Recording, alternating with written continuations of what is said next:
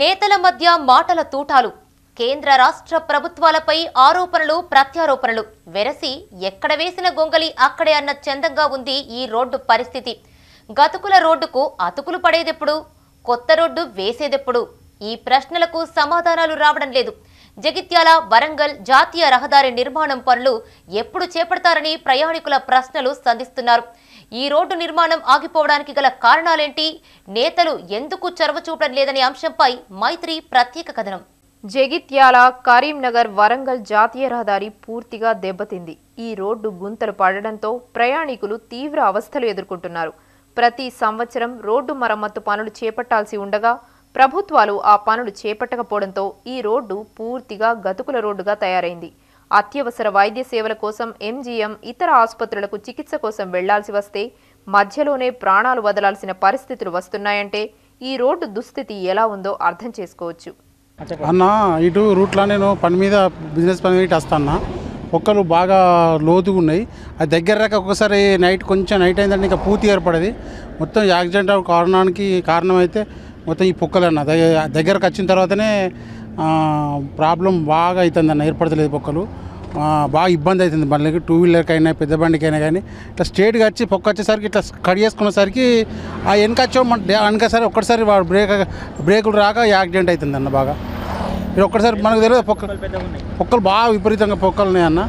అక్కడ రక చేసిర్రు. ఉన్న ఇక్కడ ఆ గట్టి దుద్దిన పిల్ల రక చేసిర్రు కానీ ఆ- ఆ రో మనం అటు చేసిర్రు. అది కూడా ఇటు కూడా అట్లా చేస్తే కొంచెం ప్రజలకు మంచిగా ఉంటుంది అన్న జగిత్యాల వరంగల్ ప్రహ రహదారి ఇది. మేము రోజు నిత్యం దీని మీద తిరుగుతూ ఉంటాం. ఎందుకంటే మా పొలాలు మా బతికే దీని మీద. ఈ రోడ్ ఒకసారి మీరు చూసినట్టయితే మా బతుకులు ఆగమయ్యేటట్టున్నాయి ఇది రా మొన్ననే పేపర్లో చదివాం కేంద్రం నిధులు శాంక్షన్ చేసింది బండి సంజయ్ గారి చొరవతో అన్నారు. మరి రాష్ట్ర ప్రభుత్వం కాంట్రాక్ట్తో కుమ్మక్క అయిందా? మరి ఎందుకు చేస్తలేరు? ఎక్కడ రాకంటే అక్కడ క్రాసింగ్ అని ఉంటుందా? అక్కడి వరకు దాన్ని ఏమంటారు? ప్యాచ్ వర్క్ వేసి జస్ట్ ఆడి వరకే. మరి అక్కడి వరకే సీఎం గారు ఉన్నాం లేకపోతే ఎమ్మెల్యే గారు ఆపమన్నారు తెలియట్లేదు కానీ ఇక్కడికి ఇంకా రావట్లేదు మరి ఎందుకు అభివృద్ధి? ఒకసారి చూసినట్టయితే మీకు తెలుస్తుంది. ఎన్ని ఎంతమంది ఎంతోమంది యాక్సిడెంట్లు అవుతున్నా కూడా కళ్ళు తెరుస్తలేదు. నాకు మా కోరిక ఏంటంటే ఇట్లకెళ్ళి ఒకసారి సీఎం పోతే బాగుండు మరి ఎవడన్నా బాగా అవుతుందని అనిపిస్తుంది. మరి ఏందో మాకు సీఎం వస్తాడా మరి ఎవరు వస్తా తెలుస్తలేదు. ఈ మరి బంగారు తెలంగాణ అభివృద్ధి అంటే రోడ్లు గుంతలు పడ్డమే కావచ్చు మరి. తెలంగాణ వస్తే రోడ్లు అందాల రోడ్లు అవుతాయి నూనె పోతే ఎత్తుకోవచ్చు మరి నూనె కాదు ఇక్కడ రక్తాలే పారుతున్నాయి మరి. ఏది ఎందుకు కనిపిస్తలేవు మరి వాళ్ళ కళ్ళకు కనిపిస్తలేవు. మరి కళ్ళకు పొరలు వచ్చినట్టున్నాయి కేసీఆర్ గారు. ఇంకానైనా తెరుచుకుంటారు ఆ కళ్ళు. ఇది మా బతుకులు మార్చాలని కోరుతున్నాం. మాకు మేము డైలీ రోడ్డు మీద వెళ్తామండి. పోను రాను పోను వెళ్తాం ఇప్పటికీ గుంతలతోటి మాకు అవస్థ అవుతుంది. నడుము నొప్పి కూడా లేస్తుంది. ఇప్పటికీ బండి రెండు మూడు సార్లు రిపేర్ చేయించాము. ఆయన ఎవరు స్పందిస్తలేరు.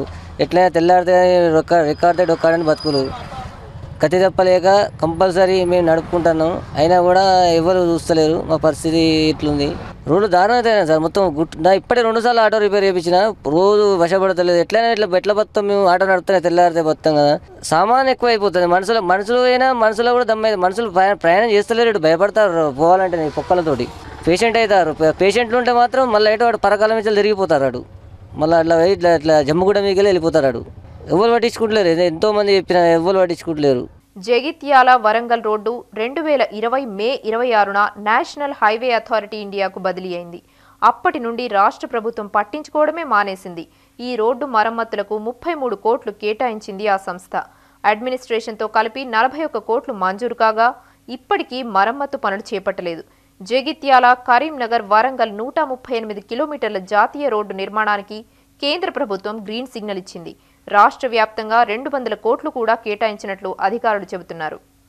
Jagtial Karimnagar Warangal road four lane చేయడానికి గాను ఎన్హెచ్ఏ వాళ్ళకి అప్పచెప్పమని గెజిట్ ట్వంటీ సిక్స్ ఫిఫ్ ఫైవ్ టూ థౌజండ్ ట్వంటీ ఈ సంవత్సరం మేలో వచ్చింది.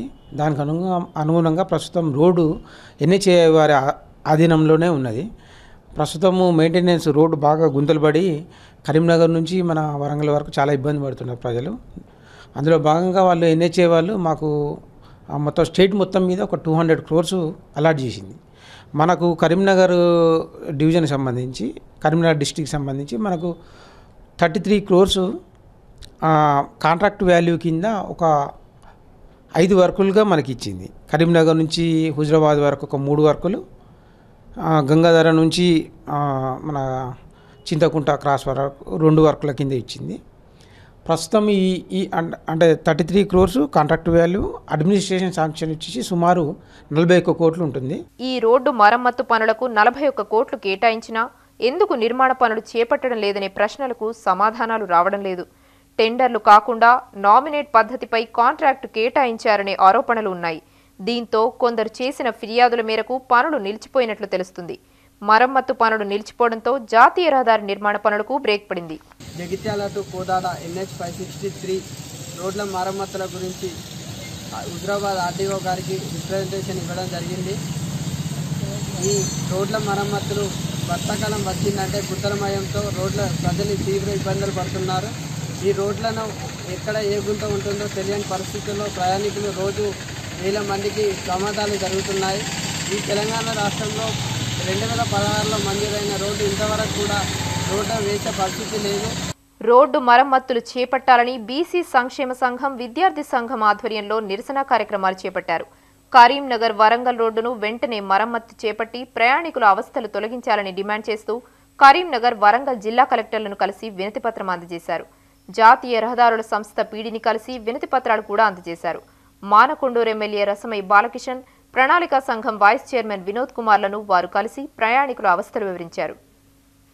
కోదాడ వరకు మూడు వందల ఇరవై కిలోమీటర్ల మేర జాతీయ రహదారిగా గుర్తిస్తూ కేంద్ర ప్రభుత్వం గత నాలుగు సంవత్సరాల కింద ఆ ప్రతిపాదనలు చేసి దాన్ని అమలుపరిచినా కూడా ఇవాళ కరీంనగర్ నుంచి వరంగల్ ఒక డెబ్బై కిలోమీటర్లు అదేవిధంగా కరీంనగర్ నుంచి జగిత్యాల ఒక యాభై తొమ్మిది కిలోమీటర్లు ఇలా కరీంనగర్ నుంచి కో- మన వరంగల్ నుంచి కోదాడ ఇవన్నీ కూడా రోడ్లు మొత్తం కూడా అడుగుకోకుండా గుంతలమయమైనటువంటి అతుకుల బొంతలకు ఉన్నటువంటి రహదారిని బాగుపరచాలని చెప్పేసి బీసీ విద్యార్థి సంఘం ఆధ్వర్యంలో బీసీ సంఘాల ఆధ్వర్యంలో అనేక ఉద్యమాలను మేము నిర్వహిస్తూ ఉన్నాం. అవసరత కేంద్ర రాష్ట్ర ప్రభుత్వాల మీద ఉన్నది.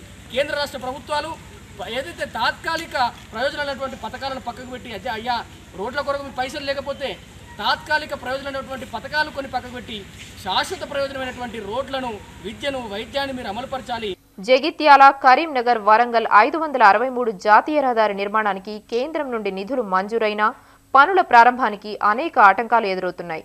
జాతీయ రహదారికి భూమిచ్చే రైతులకు పరిహారం చెల్లింపుపై క్లారిటీ రాకపోవడంతో ఈ ప్రక్రియ ముందుకు సాగడం లేదు. ప్రధానంగా Keshavapatnam Singapore kids college Tummanapalli Elkathurthi ప్రాంతాల్లో భూసేకరణ చేపట్టాల్సి ఉంది. కొన్ని చోట్ల బైపాస్ రోడ్డు వేస్తారనే ప్రచారం ఉంది. నేషనల్ హైవే అధికారులు ఆయా గ్రామాల ప్రజలకు క్లారిటీ ఇవ్వడం లేదు.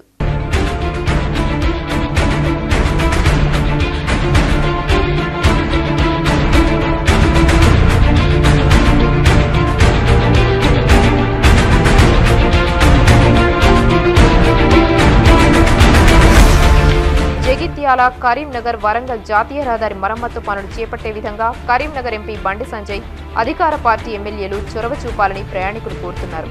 ఆ దిశగా చర్యలు తీసుకుంటారని ఆశిద్దాం.